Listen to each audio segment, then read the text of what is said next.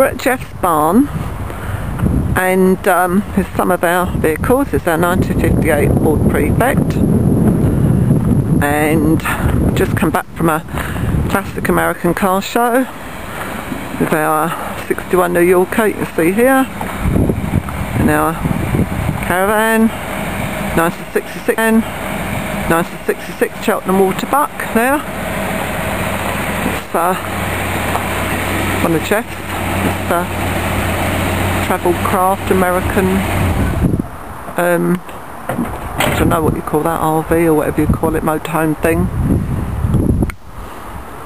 And uh, we just bought this 1937 standard flying 10 it's totally original and totally complete it hasn't had many owners at all been really well looked after. I don't think it's ever been painted. It's like a dark bottle green. And uh, I'll show you around it first of all.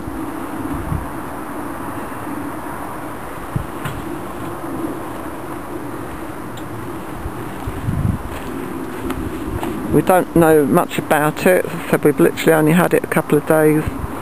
But it is totally standard totally original and it will be kept as such as uh, that's what we like which we like things kept original and as they were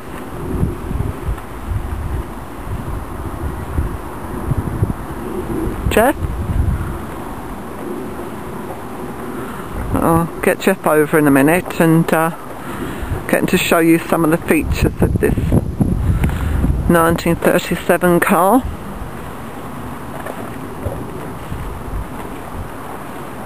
We've, as I said, we just come back from American Car Show, took our our old caravan and car, so uh, right Jeff, can you tell us about this, the 1937 standard flying, was it flying standard 10? Yeah, standard, uh, 10 horsepower, um, the name they gave it. It's got a few typical features of a pre-war car, as you may be able to see from looking at the picture now. The spare wheel's mounted on the back and you remove the cover, take the spare wheel out, but of course you probably notice it's got no boot.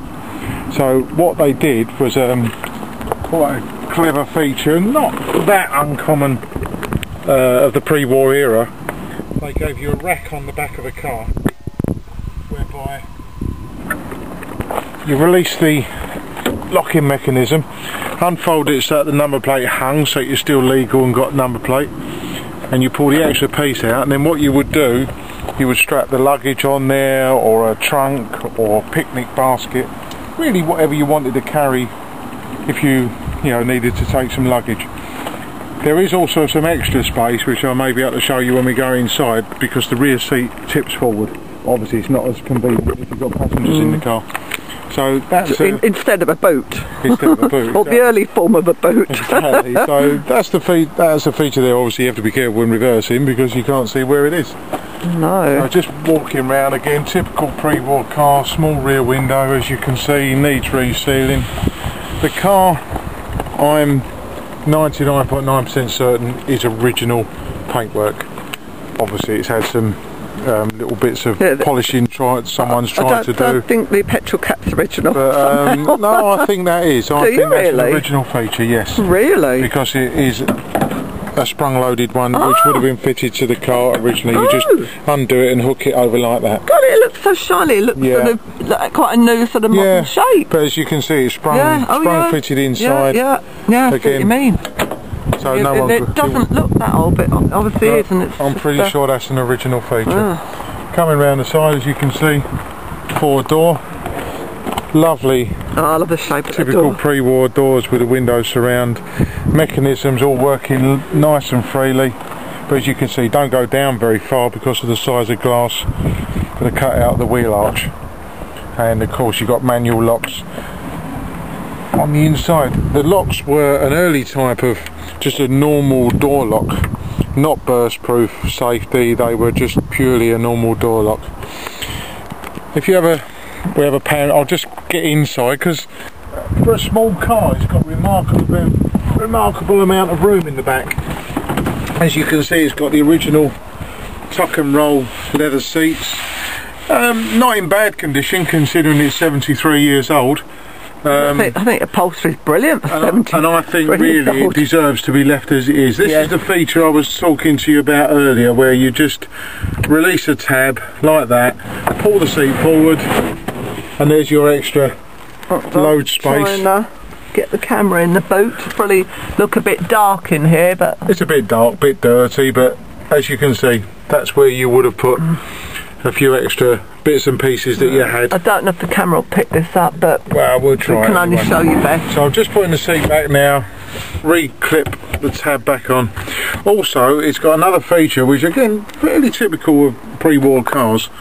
They had a, a rear blind. If you uh, look at the back window now, you can see as I pull this, the blind comes up. to do that again. Sorry, All nice and original. Show that again. Wow. All nice and original. And all what works. should happen, this cord, which is obviously broken because it's got a tie up in it, would have come down to a series of eyes. You can still see the holes where they were, up round there, along here, through another nice plastic eye there, and this ring on the end would hook above the driver's shoulder so the driver could operate it Mm. from the front seat. Amazing. Um, the carpet, oh, and the again- sunroof. Oh, sorry. I'll do the sunroof the Okay, sorry. Right. The carpet. again looks very very much original original But Hessian. like a Hessian sort of carpet yeah it's a bit threadbare in places but again I'm very very loath to change it um, I think What's that? the Oh, originality of the car if it cleans up nice I'll probably leave it like it and there's a, a nice That like cord? almost like a Almost- corduroy back into the seats Yeah, not quite corduroy, but that kind of. It looks like corduroy, but Yeah. isn't. Yeah, I don't know what they call that. I can actually show, show you the, the Like sunshine the needle cord, like a fine needle cord, isn't it? possible again a little bit threadbare but it, it just is it just says it's all original if we have a look at the um, um, the roof line again original type of don't know what they would call this sort of pre-war stuff but I would known it as a Furflex sort of lining um, it's got a furry sort of feel to it you've got a fully sliding sunshine roof as they used to call them pre-war not a sunroof as we call them now if I can move it there we go Oh my god. It quite nice. well, doesn't it? unbelievable again for its age as you can see a wooden surround held in by the original um, straight cut screws with cabinet washers underneath. Nice original feature. And again really quite a nice movement. Um, we'll, we'll we'll see whether it leaks or not. But again nice slide movement. Just a lovely sort of I like the visor too. like a coach built feel to it. Yep single visor on the driver's side. Yeah. The, Nice